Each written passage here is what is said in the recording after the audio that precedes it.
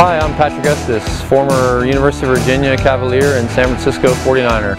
Please join Crozet Sports and me along with other former NFL players and NCAA Division I college athletes on November 18th from 4 to 6 p.m. at the Old Trail Soccer Field. Whether you play tackle or flag football, everyone is welcome. Learn the best stances, the best moves, and the best way to make successful catches.